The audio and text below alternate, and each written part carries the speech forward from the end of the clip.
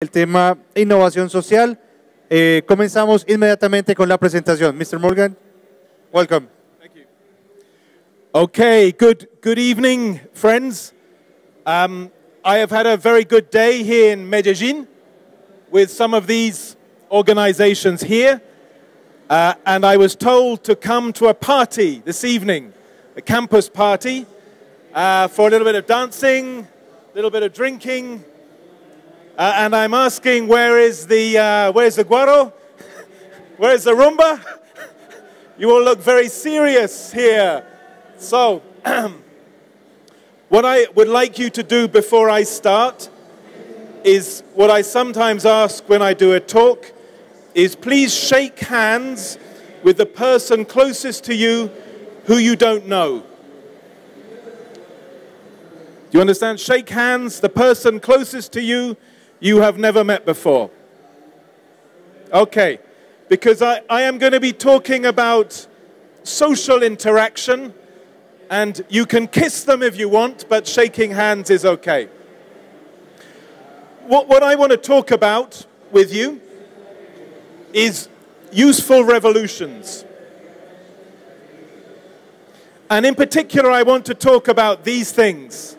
You all have one of these things, I hope. There are 7 million, 7 billion of these things around the world, but I think we don't use them anything like enough. We waste our brains, and we often get the cleverest brains working on the wrong questions and the wrong challenges.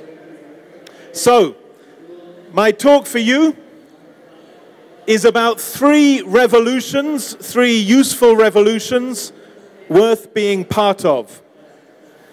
And what I'm going to say is partly prompted by having been at another campus party in London last month, where there were, I think, about six or 7,000 people gathered from all over Europe. And the campus party there is all about entrepreneurship and about technology, but it's also everywhere about how the best brains, the most creative brains, do the most useful work, the most impactful work. And that's what I want to talk about here in Medellin.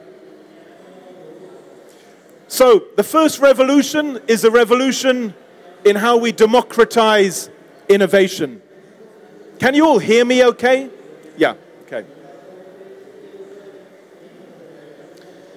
For much of the last century, innovation was all about scientists in buildings like these, chemical laboratories, Bell Labs, which is where the microprocessor came from, a small number of people with PhDs creating amazing breakthroughs in science.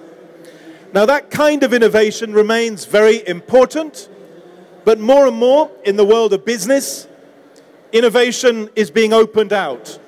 We have user driven innovation, innovation in services as well as technologies. We have open innovation projects in government, in business, all basically with the same idea how does the company, how does the state make the most of many brains, not just the brains inside the organization. And I think we're at the beginning of a decade or two when we go much further to democratize how innovation is organized. And I'm going to say a little bit about what that means in practice. First of all, we are seeing a spread of prizes, challenge prizes, where a task is set, maybe to design a new kind of light or a new microphone, and whoever can succeed in this task wins a prize. The prize may be a million dollars, maybe $10 million. And my organization now has a center for prizes where we set uh, technology prizes of all kinds. And for me, the symbol of this new era is this young man. Do any of you know, recognize him? Do any of you recognize this guy here? So he is 15 years old. I think he is younger than any of you. And he won the Intel Science Prize last year, having developed a test for pancreatic cancer which is much cheaper and more efficient than anything coming from the big firms, the big laboratories, the big universities. He taught himself on the internet how to create a test for cancer. And he, for me, is a symbol of this era of opening innovation, democratizing innovation. You do not have to be at Harvard or Oxford. You do not have to work for General Electric or IBM. You can be on the forefront of innovation wherever you are, whoever you are. And this is very exciting. The next field of democratization is the spread of accelerators. And many of you, I'm sure, are part of the accelerator movement. My organization now organizes accelerators across Europe. We have hundreds of them working with entrepreneurs to speed up the process of creating new business models, new markets, new technologies. And uh, this graph here shows the rise of numbers of accelerators this is our living map of European accelerator programs.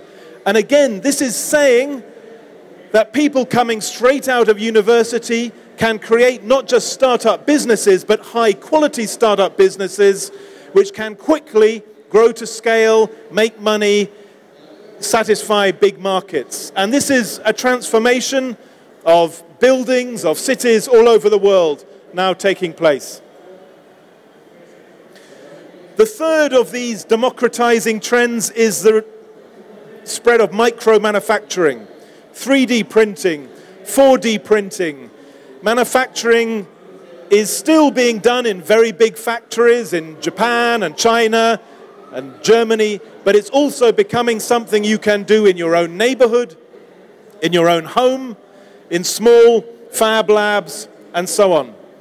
And the whole of manufacturing is changing from being about subtraction, where you start with lots of materials and end up with something much smaller, and it's becoming instead about addition, where you add layers of substances to create a chair or to create an electronic equipment. And this too, I think, will democratize innovation in ways we are only just beginning to understand. The fourth field I want to mention is something we are very involved in in my organization, and you can see it happening in this room. Here is the idea that instead of creating a new generation of people who use PowerPoint, Excel, Apple products, what we really need is a new generation of people who can create digital products, a generation of digital makers, not just of digital users. And with partners like Mozilla, we have created this thing called Make Things Do Stuff, which is a platform and a program to help children as young as five learn how to code, how to make games, how to make websites, how to make animations, so that they become very confident at not being passive consumers of Facebook, but rather the designers of the next Facebook. And all over the world, this movement of coding and making, I think, is very exciting. Uh, it is mainly being led by young people. It is quite threatening to many teachers, many established institutions, but this is the way we have to go to democratize innovation. So that's the first revolution, which I think is a revolution worth being part of the revolution which takes innovation away from just being something for the elite, just being for scientists, just being for top universities, and makes it something everyone can play a part in shaping their world. Now, the next revolution I want to talk about is, is the social innovation revolution. And this overlaps in many ways. All around the world, we can see thousands of new ideas, new projects, new ventures in, in fields like these. From you know, Wikipedia to citizen reporters to slow food to health collaboratives. An, an extraordinary explosion of social innovation, innovation for social good is happening. And one of the things which is driving this revolution is a revolution of new ways of supporting innovation for social good. This is a list of things happening around the world, none of which existed 10 years ago. There are in cities like Bilbao and Singapore now social innovation parks, areas of the city which become centers for social innovation. Medellin should have one of these soon. There are social innovation camps to accelerate development of ideas uh, and design. Many countries now have social innovation funds to finance the development of ideas and getting them to scale. In, in Europe, we now have about 300 social innovation incubators, spaces providing support for people with good ideas to grow them. Uh, President Obama has an Office of Social Innovation in the White House. We have at city level mayors defining their term of office through social innovation, with probably the lead one being um, uh, Won Soon Park, who is the mayor of Seoul, the most digitally connected city in the world, and he is redefining the city government, a city of 11 million people, entirely as a social innovation city. We have social innovation prizes in the US, in Europe, in China. So in Europe, we just gave the, the most recent set of prizes for innovations to help young people into jobs. And some of them were very, very creative ideas, like an, an app which can help with multi-dimensional barter. Uh, another innovation taking uh, things like food packaging and making it a source of jobs information for young people. In China, the winner of last year's Social Innovation Prize is a social enterprise for disabled people which employs 3,000 of them. So big scale being achieved. And there's also things like social impact bonds. Uh, and I hear that Medellin may be one of their cities with a, a social impact bond uh, pioneering that idea. Behind all of this has been a lot of work, a lot of research, a lot of books, a lot of thinking about how innovation happens in the social field and how it's different from traditional innovation in nanotechnology or aerospace or cars. And again, almost none of this literature existed 10 years ago. This is new. It is pioneering new ways of thinking about the world. And if you haven't seen it already, one of the organizations part of my trip here to Colombia is SIX, the Social Innovation Exchange, which links together the people doing this work across the world. So we share experience, we share ideas. This is a picture from the launch of the um, uh, SIX Asia in Hong Kong last year and there are separate nodes in Scandinavia, Australia, and North America. What I want to talk about then is some of the lessons about how you get ideas from being just a, a promising idea to having real impact.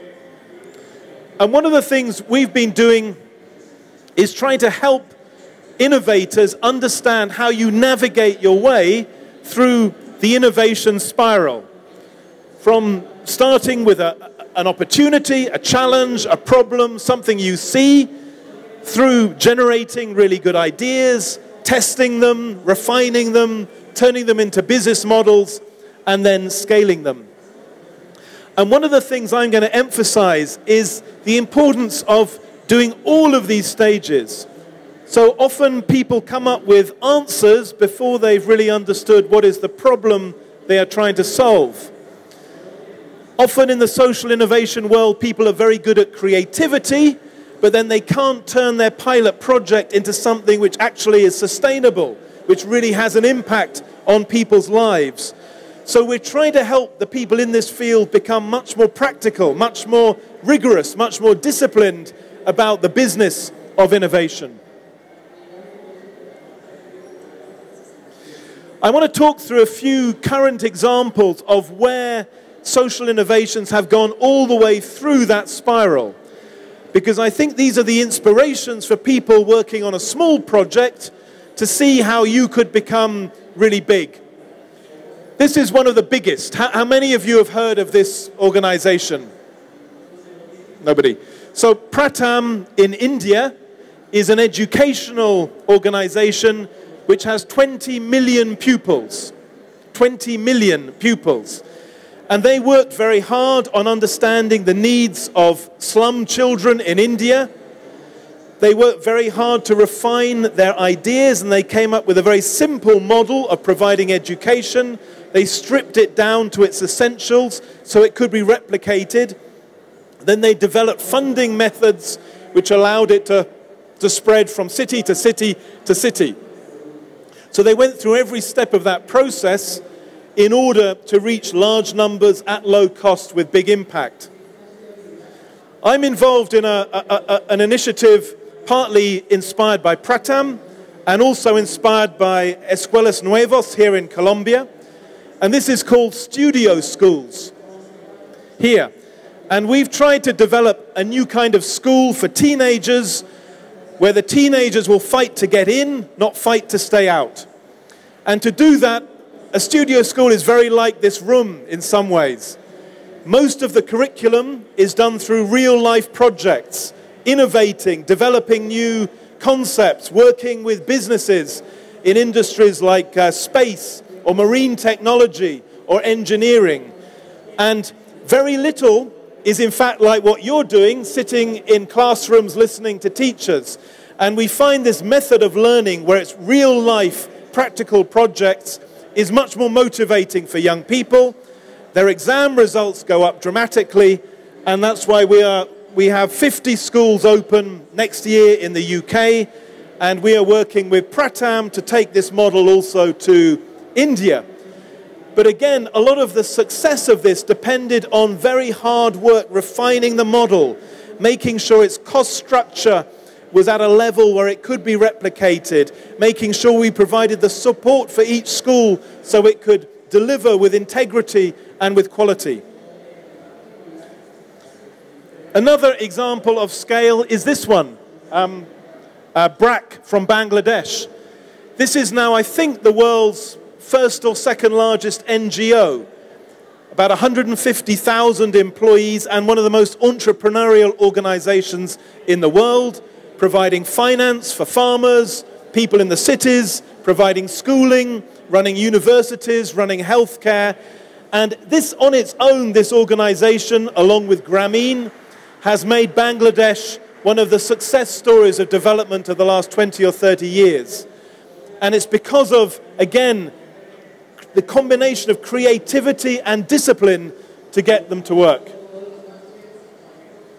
Another example from South Africa that I like is this one, Soul City, which uses television soap operas combined with um, community development and health to support people to improve their own lives in poor uh, communities across South Africa. And again, they worked very hard to come up with a scalable model, a model which could work not just in one city, but with a support infrastructure could quickly be replicated right across the country. So these are all, um, just one more I show is Avaaz. These are examples of innovation, social innovation going to large scale. How, how many of you are members of Avaaz? A few of you. So there are now 20 million of you worldwide using Avaaz as a platform for politics, for campaigning, and the designers of Avaaz are creating many, many other um, useful tools. One, in fact, which I like very much is in the city of Rio de Janeiro, Meu Rio, where they've created a web platform for young people to organize themselves in the city and influence City Hall. And we are now copying that back in the UK, and it's worth looking at for Medellin. It might be an interesting uh, example to, to borrow. So, what is all of this about? Going back to my image of a brain, the wasted brain.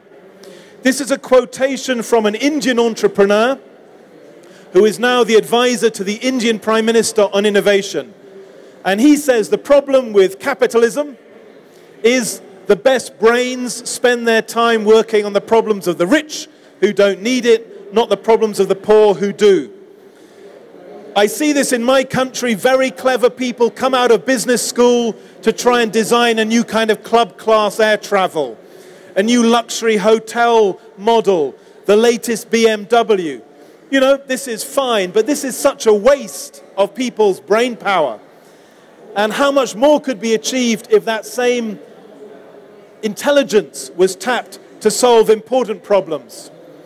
So in India, in the last 10 or 20 years, there's been a movement to reinvent innovation, to try and innovate for social purposes, and also to tap the creativity of poor people.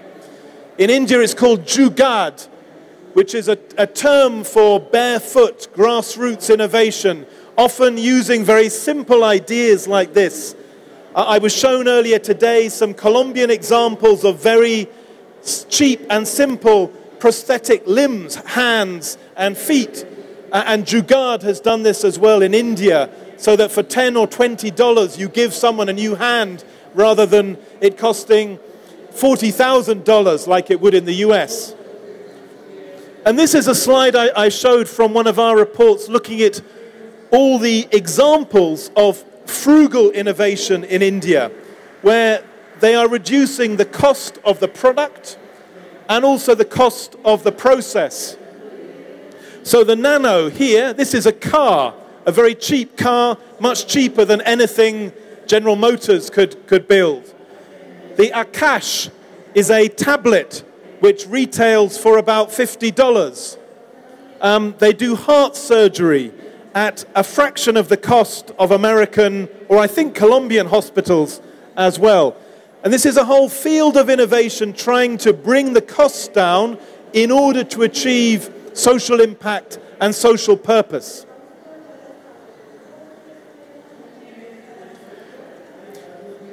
Now, one of the things which is driving this in different parts of the world is new kinds of money.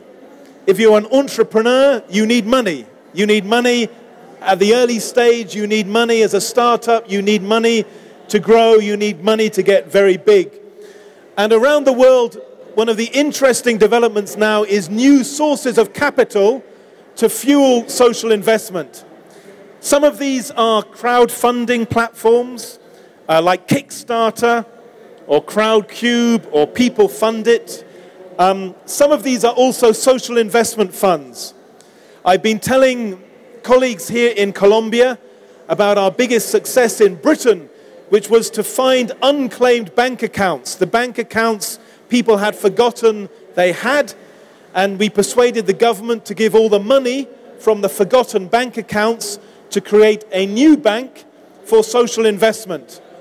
And that bank now has about $1 billion for investment in social enterprises, a big sum of money. And in every country, there are hidden pools of money which you can find and bring to life, make useful, make a fuel for this field.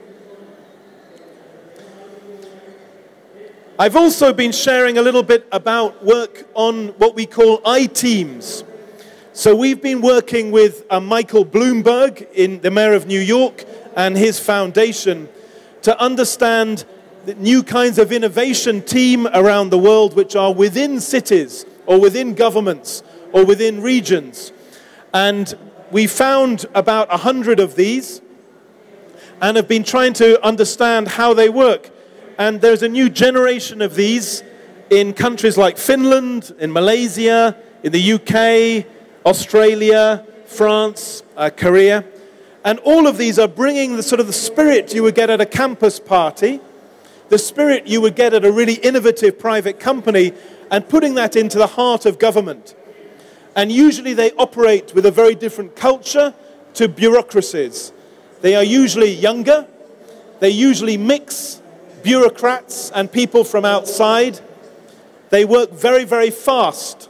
So in some of the I-teams, they try and work from an idea to implementation in four or five weeks and have it tested within two or three months, which is very unusual for governments uh, and bureaucracies. Some of them use design methods, like MindLab in Denmark is a design-driven uh, uh, team within a national government. Many of them are using data and technology, like the new I-teams in Mexico and, uh, and Argentina. and some of them new, use new social science. So this one here, the Behavioral Insights team in Britain, uses behavioral economics methods to redesign public policies and run very large experiments. And they will be experiments in things like letters for tax. So they find if they send, you know, half of you a letter saying, why have you not paid your tax on time? You may respond in one way. And Then they have another group, they will change the letter so it says 9 out of 10 people have paid their tax on time. Why have you not paid your tax on time? Then for the next group, they try adding in the words 9 out of 10 people like you or in your street have paid your tax on time. And they find this group responds much better than this group. And these are all the methods which are normal for companies like Amazon, or Google, where you do A B testing of every service. You automatically test it digitally and get evidence about what works. But for government, this is very new a very new spirit, very new tools, very new uh, methods. So, the third revolution I want to talk about, in a way, overlaps with the other two. And this is about how we get technologies which are really useful for us. And there's an enormous amount of technology in this room. And so the question is how do we get, again, the brains of the world, the clever people, the scientists, the technologists, creating real value? Value for the people around them, in their community, in their society. At the moment, most of the investment in research and development goes either into hardware, things like iPhones, or into the military. About one half of all public research and development funding across the world goes into better ways of killing people. Smart missiles, or drones, or cluster bombs. And we probably can't stop that happening, but it seems to me it would be much better if the same amount of brain power, of clever people's time, went into solving some more useful challenges than just a slightly better colored new iPhone. And I think the latest iPhone is a little bit of a disappointment, or a slightly faster drone. And, you know, we are looking at why, why can't we have the same innovation creativity for problems like pollution, or poverty, or drug addiction, or crime, or isolation amongst older people, which is a problem right across the world from China to Germany. And in every society, we find only a tiny fraction of the clever people working in these problems rather than trying to design the next generation flat screen TV or the next generation tank. And so, one of the questions I would throw to anyone who is a, a technologist, an entrepreneur, is make sure you are working on things which are really useful so that when you are 95 years old, sitting in your armchair looking back on your life, you feel proud of what you did, proud of how you used your brain to make the world a better place. Now, that's not easy. And I want to show a, a picture I showed on, um, on Tuesday in New York. I was trying to annoy an audience of data scientists. Do any of you recognize this picture? So, this is a picture of data, big data. This one here. And this is a picture which showed the houses where people died of cholera and it connected them to where people were drawing their water in London.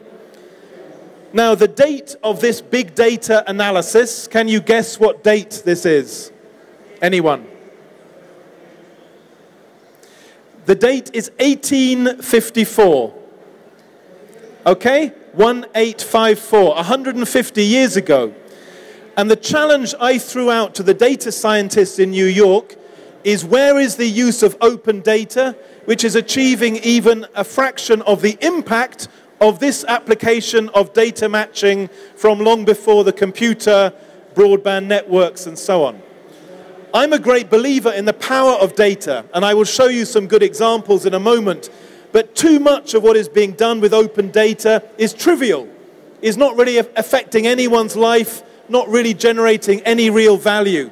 And what happened here was to start with really important real life problems and then develop your innovation in response to problems which matter rather than just starting with cool applications, nice ideas, because you're wasting your brain power if you work on trivial problems rather than big ones. So, what I'm going to share with you is just a few examples of digital technology applications for social good, which I think are quite useful and promising, but they're all ones which could go much further in the future. So, the first category is new ways of matching people's needs, things they need, with underused resources. And in every city in the world, there are lots of resources which are wasted. They're like buildings or time or equipment which could be better linked up using digital technology with the people who really need it. And here's a few examples. So, in, in China, Taobao, which is their equivalent of eBay, is now moving beyond selling old clothes or watches, but is linking up people who need care, like isolated older people, with people who can provide them with care. So, using digital technology to create a welfare system for care. In London, we have a nice example which my organization designed so that public libraries can mobilize the book collections of citizens and their book collections become part of the public library service so you can online look for a book, discover someone in your apartment block has that book and you go and knock on their door and borrow it from them and you not only get value, you may meet a new friend or you may meet a neighbor you never want to see again, but hopefully uh, they are good people. And all over the world, there is a, a, a, a proliferation of these collaborative consumption tools. This is a website we support based in uh, the US and Australia and the UK, which brings together the business models of collaborative consumption around the world and the new ideas. And I was saying, um, I think yesterday, a, a good example of this is household drills. Do any of you own a drill at home? You know, a thing for making a hole in the wall. Yeah, quite a few of you. Do you know how much the average drill is used in its entire lifetime? 11 minutes. So they are completely wasted. So using these platforms, you can share your drill. You can share your car, because most of you don't use your car all the time.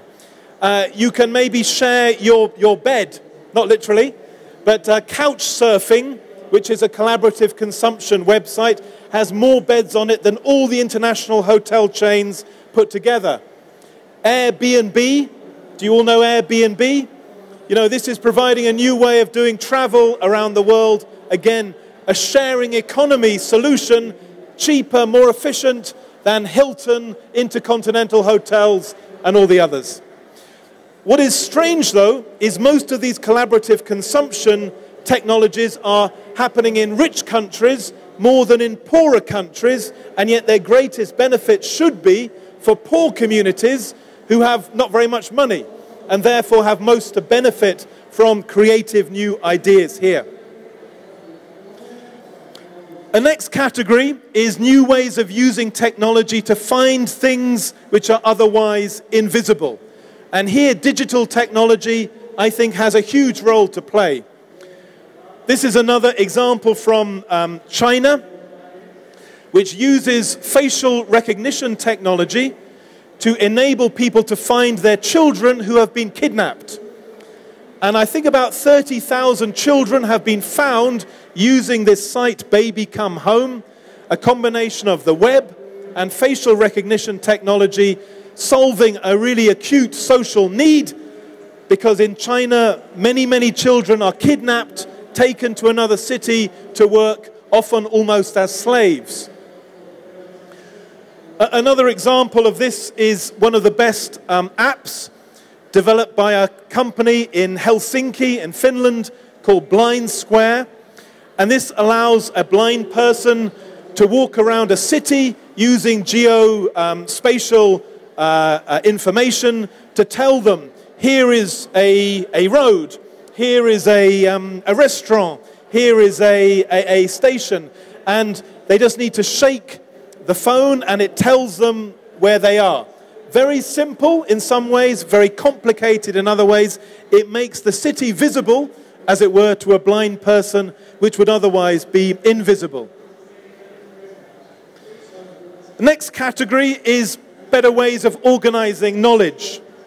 Um, Google.org launched this um, two weeks ago, a searchable website with all of the world's constitutions on it. So if any of you want to write a constitution, I don't know, you might want to, you can now use this tool to help you do so. And, um, and another one which I was involved in is this one called Action for Happiness. And this site brings together all the world's knowledge about what makes people happy. And it makes it usable. It shows you how you can make a primary school happy a workplace happy, a university happy, with very practical examples, but also the scientific evidence behind it. And can you guess which activity makes people happiest? Which one activity, according to the scientific evidence, makes people happiest? Dancing, exactly, dancing. Which is why we should all be dancing now, not listening to me. Anyway, this is this is another example just of organizing knowledge in new ways which are useful. And I, I was saying to friends here yesterday, this organization, which has um, a presence in nearly 120 countries, has one member of staff. All the rest of the work is done by volunteers, provide, running local groups, running sessions, and providing input. On a more technological level, we have lots of examples of optimizing social resources. So this is a bit more like what you see on the screens over there. This is a use of data from Korea where they are tracking the movement of people's smartphones around the city in order to redesign their bus routes and transport systems, but also to decide where to put public facilities like a welfare center or, a, um, or an advisory service. They have one other very good app which is about to go live, which I don't know if you have here in Medellin. They track every taxi journey from beginning to end, put it all into a shared database so that you can then on your smartphone find out where, close to where you are, you will have the best chances of finding an empty taxi. And if you're a taxi driver, it will tell you whether you should turn left or right to have the best chances of finding a passenger. Again, very simple but very clever use of technology to make living in a city easier. Many examples of smarter learning. There are literally thousands of MOOCs now around the world, but this is one I just wanted to share, which is Digital Green from India again. I like it because it's not for people like are in this room. It's not for the very tech savvy people in cities, for young people. This is mainly for middle aged, poor farmers living in villages. And it provides a combination of online learning platform, videos to provide training on farming methods, and then brings people together in peer learning groups to support each other as they become better farmers. So this is using, in some ways, MOOC technology, but for a much more powerful social impact than Coursera or Udacity or MIT, which I still think are quite disappointing in their lack of ambition in terms of educational impact. Another field of um, innovation is collective memories. And so this is an example we are launching this year in Britain to commemorate the First World War, which has its 100th anniversary next year in 2014. And this enables a museum to crowdsource people's memories. the things they have been given by their grandparents or great grandparents. They may be photographs, letters, even sometimes uh, recordings. And the idea is we use digital technology to organize our shared memory in an easy way. And this is called a history pin. And this will be an open source technology which anyone can use for turning history or memory into a collective resource in a different way. You can still have the physical museum in your city, but alongside the museum, you have a virtual museum of everyone's brain, everyone's memory. There's a lot of examples now of creating spaces for people to be cured for therapy using digital technology. This one called the Big White Wall creates a safe space for people with depression or schizophrenia and other mental illnesses to talk about their problems, how they feel, to help them articulate what they feel, and to talk to other people like them. And this seems to be very therapeutic. No one inventing the internet had this in mind, but we are discovering that digital technologies can reach parts of the brain which maybe often the doctors and the therapists cannot uh, reach so effectively. Um, we're seeing a lot of experiment around tools for innovation. I won't say any more about that now because of time. And new tools to make government accountable to citizens. So this is the, um, the, the, the, probably the most famous one in the world at the moment called I Paid a Bribe. And this is in India, and it was set up so that every time you pay a bribe to a corrupt official or politician, you record it online, and everyone else can see this person was paid a bribe. And as you can see, this has now had um, how many visits? So, three, three million users so far in India. It's fueled a campaign which brought Delhi to a halt last year and a new method of campaigning where poor people use missed calls. They make a phone call, but they don't finish the call and this signals to the phone companies anger about corruption. And we are seeing many technologies of transparency making it much harder for states to be corrupt, to act as predators towards their people. So, just one or two more examples. So, this next one is very important for us in countries like, like mine, in, in the USA and Britain and Europe where we are using the technologies of Facebook, essentially, to create new ways of supporting people in need. And there are many dozens of examples of this kind. This is, I think, one of the best, which we have, um, we have imported from Canada. And it's called Tyze. And if you have a, someone perhaps of 85, lives on their own in an apartment, has many diseases, cannot go out. This organizes their circle of support the doctor, the social worker, but also their neighbors, their daughter or granddaughter or grandson who may live in a different city. And online, they coordinate who is going to drive the old person to the hospital, who will cook them a meal, who will just talk to them so they don't feel lonely. And I see an explosion of new methods of using social media to provide social support far beyond what was ever in Facebook's mind. And it has to be slightly different from Facebook, but creates value far beyond what formal professional services can do.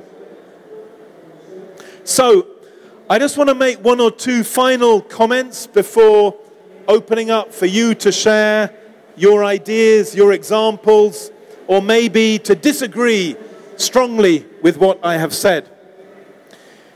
In all that I've been talking about, we are seeing the emergence of what I would call the craft of social innovation.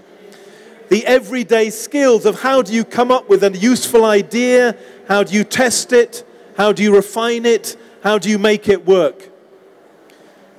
When Thomas Edison was trying to design a light bulb as you know, he went through 10,000 different materials before he found the one which would work in light bulbs.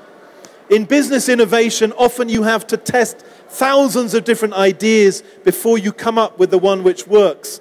And it's the same with social innovation. It's very hard work to come up with ideas which are really ready to spread and scale. And so, going back to this, this sort of model, we have been developing the tools to help innovators at each stage. Tools for understanding problems. And one of the best tools which I encourage universities to do is a very old fashioned tool called walking. You take a group of people and you walk around your city at random to find what are the things people need, to talk to people, and perhaps to find the really good innovations people are doing for themselves. In fact, walking is often a more powerful tool than searching on the web. And so I would encourage any campus party to involve a little bit of walking.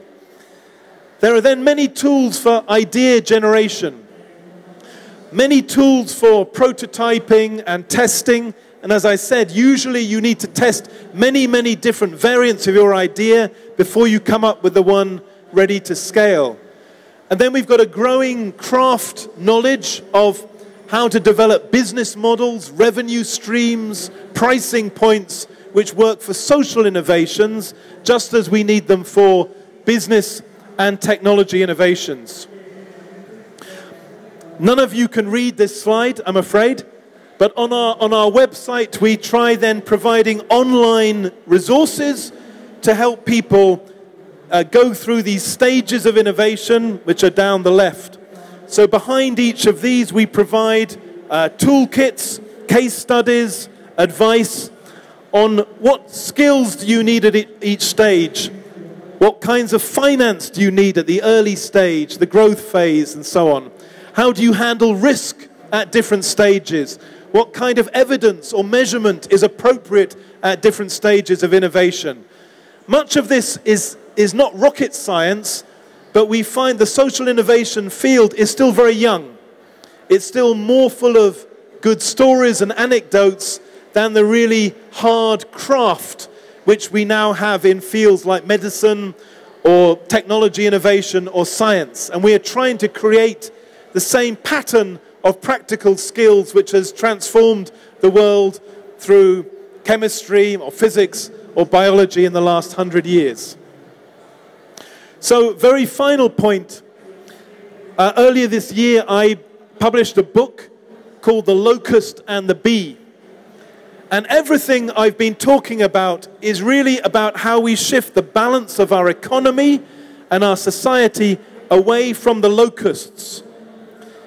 The locusts are the people who try and take things without giving anything back. And there are locusts in every government, locusts in the banking sector, locusts in business, and we have seen enormous damage done by the excessive power of the locusts in the economy of the Western world. That is what drove the financial crisis of 2007 was the empowerment of locusts. What we need is to empower the bees, the entrepreneurs, the creatives, the people generating genuine value for other people, solving their problems and their needs. And everything I've been talking about, from accelerators and startup factories to prizes to new kinds of innovation funding to social innovation, these are all part of shifting the balance from the locusts towards the bees. But my very final point is that there is, in a way, a bit of a locust and a bee inside all of us all of us sometimes may be pulled into jobs or positions or opportunities which make us a bit more of a predator and a bit less of a creator. And that is why I've been emphasizing how we use our brains, who we give our brains to. If you give your brain to developing a new generation of weapon systems, you are becoming a predator not a creator. Uh, and if you use your brain instead to find where are the most pressing needs in your society and how can you come up with creative solutions. You are a bee and you will feel better about your life and you will feel happier with your life than if you are a predator. So I will end with a little story which I tell in, in the book, which comes from Canada. And it's a story about a magician, a shaman, who meets a small boy. And the shaman says to the small boy, I have inside me two bears. One bear is violent, warlike, vicious, and cruel. And the other bear is kind, cooperative, likes dancing maybe, and, uh, and is a good bear.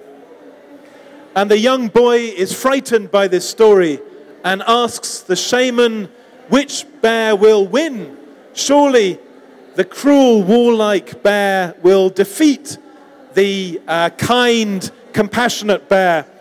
Uh, and the, um, the shaman replies, whichever one I feed.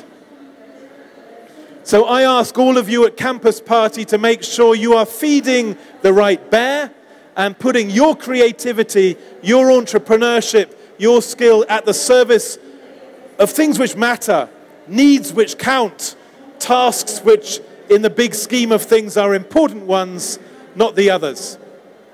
And I think I have now left a little bit of time for you to ask questions or, as I said, to violently disagree with me. Thank you.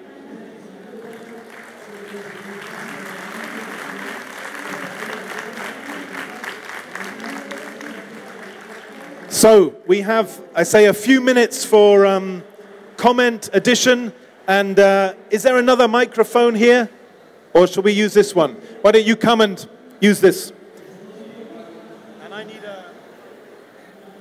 No, I, I can answer in, in, English if you want. Well, uh, my question is, uh, I have an idea for a social innovation startup, but I always have this kind of uh, doubts about finding, for example, angel investors. Angel investors are only for the profit. And maybe government organizations are uh, too locally focused. Like uh, if, if, if, the, if the municipality will have funds for it, it will think only in terms of this city and this kind of innovation ideas or projects are, are more uh, global, are, uh, are, are, on a global scale. So I, I need the angel investor goes for profit, the, go the government uh, funds go for very, very small scale solutions. So the, the recommendation what will be like finding these kind of funds that you talk about that are international funds that might, might uh, uh, I might I might approach with, with the project when it's, it's get going. Yeah. Okay. Well, um, two or three bits of an answer to your your question. So first of all, everywhere it is difficult. Which one should I use? Uh, it is always difficult to find money for good ideas. And in business, you need, it's usually friends or family, not even angels, who provide the first bit of money for a business idea. And in social innovation as well, often you have to beg money from people who know you, very small amounts. But this is beginning to change, and we are seeing now quite large funds moving in this direction. In Europe, the most, perhaps the, the, the great um, evangelist of this was the man who created the European venture capital industry in the 1970s. He created the largest venture fund uh, uh, and, which, and became immensely rich. And he is now pioneering the social investment world, creating these new funds. And he says we are exactly where venture capital and new generation angel investment was 30 years ago. It's still quite small, quite marginal, but he goes around the world saying that in 10 years' time, this will have tens of billions of dollars, established funds, careers, methods, uh, and so on. So, in time, I think we will see answers to your question. In the meantime, I see lots of potential from things like the crowdfunding platforms. They don't generate large sums of money, but they are a good way of generating a few thousand dollars to prove your idea, and then you can take it maybe to a philanthropist, a foundation, or your city government to get it to the next stage. But the, the only other thing I would say is in nearly all the social innovations I've been involved in, we exaggerated how much we needed money early on. And often, when we couldn't get money, that forced us to be clever at getting other resources from people, to borrow a building, to get people to work for no money, or to get a company to lend somebody for six months, or to get given you know, old computer equipment. It's amazing what you can do without any money if you have to. And so I, I always urge people not to immediately see cash as the essential for making an innovation work. Long, long answer, sorry. okay, who, um, yeah. Gracias, buenas noches. Hazme un favor, en todo el panorama que tú planteas, ¿cuál sería el... En el panorama que tú planteas, ¿cuál sería la formación que las universidades deberían darle a los jóvenes que están saliendo a producir en el mercado para que estén preparados para estos retos?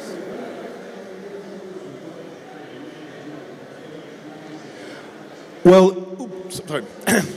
when, when we developed the studio school idea, we in fact originally wanted it to be a studio university. So our idea was could we create a new kind of university where instead of going to lectures on physics or history, most of the curriculum of the university would be done through real life problem solving projects maybe designing an irrigation system for water or developing new um, data applications for a city. And that if you could create a university like that where everything was rooted in real life creative problem solving, you would in fact have to learn the physics and the history, maybe, to help you solve the problems, but you would also learn how to work in a team, how to problem solve, how to communicate, how to deal with other institutions like municipalities or landowners or developers. And through that, you would learn many other skills. Um, we couldn't get that to happen in Britain, but in Finland, there is now a university doing something a little bit like this called Aalto University, where most of the curriculum is done through multidisciplinary problem solving projects with external clients. So I still think there is a need for innovation in universities. I don't say every university should be like what I've described, but there should be some parts of any university system which are much more like this much more entrepreneurial, much more dynamic, much more problem solving. Uh, and I'd have thought you in Colombia were very well placed to be pioneers of a new kind of university. And then in more conservative countries like Britain, we can copy what you've done.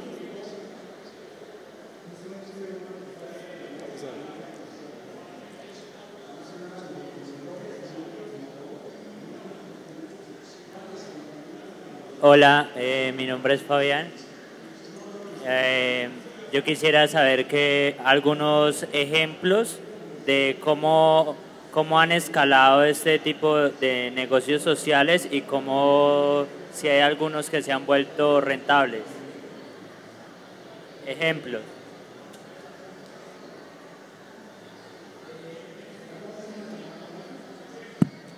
Well, the, the examples I showed earlier have all gone to very large scale. So some, as I said, have 20 million users and they generate surpluses. They all make profit, in that sense. You cannot scale unless you are making uh, a surplus. Um, I could have given other examples more from the technology field where often it is easier to scale. We're doing a workshop tomorrow morning here in Medellin, very much focused on the detail of your question of what, how do you need to think about business models in order to get to scale. And usually, it's quite challenging in social innovation as in business. Often you need to simplify your concept to make it scalable. Often you need to bring the cost structure down. from what you start with. Also, you may find the team who are really good at the early stage of a startup, very creative, very dynamic, are not the right team for scale. And then you need much more managerial uh, experience and competence. And often the early stage social entrepreneurs are not good at scaling their own ideas. And the same in business. You know, Steve Jobs had to be sacked by Apple because he was no good at scaling Apple. Uh, and this is normal in business. Often, as you scale, you need to change your structure. You need to change your accountability model. You need to change your internal culture because what works when you are 10 people, you know, very excited, doing something new, doesn't work when you are 1,000 people or 10,000 people. So, anyway, tomorrow morning, in, we are talking through what is quite a complicated set of answers to your question. But the good news for me is that there are now all over the world many, many, many examples of large scale social innovations and social enterprises. It is not possible to say these are just small and marginal. These are big business. These employ hundreds of thousands of people. Let me give just one final example, or maybe two final examples. One is from um, a part of the world with strong connections to Medellin the Basque country in Spain. In the Basque country in Spain is the Mondragon Cooperative Group. That now employs over 100,000 people.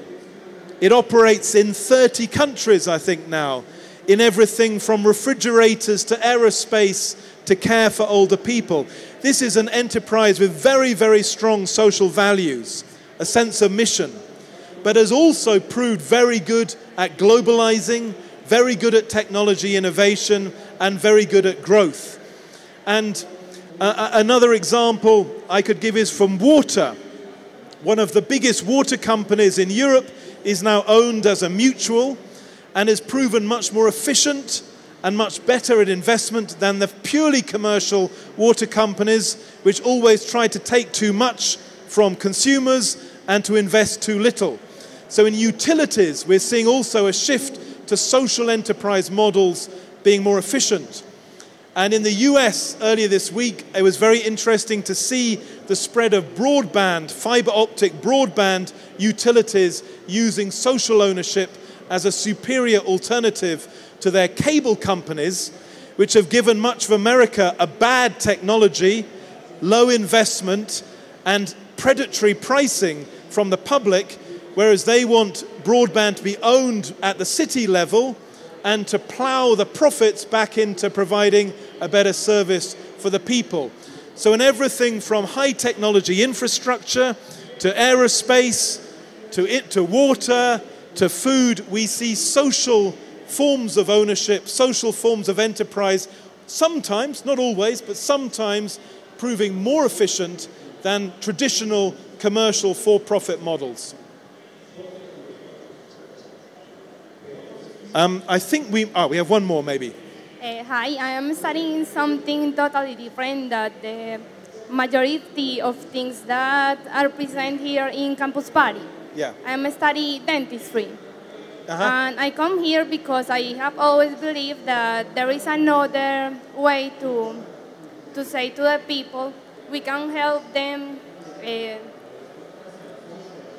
uh, with the social things uh, yeah. in internet. Yeah. And I would like to, and I come here because I would like to know how to say to the people that always is with me uh, how we can help the people science the different things we have in internet. And I would like you say to me where can I start, where I can start to say them or what I can I start to start to see to say them. Okay. I can't give you any advice about dentistry, but I will talk about doctors, if that's okay. So, we, we have been doing in my organization some very interesting projects working with doctors, frontline doctors. And we think there is a revolution happening in how health is organized. Where in the 20th century, most healthcare happened in hospitals and was done to people. The patient was entirely passive, and you maybe would fix their teeth, or someone would fix their heart, and then they would leave. Now, in most of the world, most of the health conditions which matter are long term health conditions, like diabetes, or heart disease, or obesity, where you cannot cure it in the hospital. You require the patient to become part of the cure themselves. And so in dentistry, it would be encouraging people maybe to not to eat sweets all the time or drink soft drinks. So we've been working with doctors on what we call people-powered health, models of healthcare which are a partnership between the doctor and the patient. And last year we ran experiments with ways of making this real. Sometimes we did group consultations instead of individual consultations. So 10 people with the same health condition would go in and see the doctor at the same time and talk to each other about how they were looking after their diet or their fitness. And we found this much more effective for some conditions. Maybe not dentistry again, but for health. Sometimes we found new ways of prescription. So if someone is in their 80s and has many chronic diseases, you can prescribe them a drug, but usually almost any drug won't work very well. The medical evidence shows that for some people, a prescription to go to a dance class is better for their health than a prescription for a drug.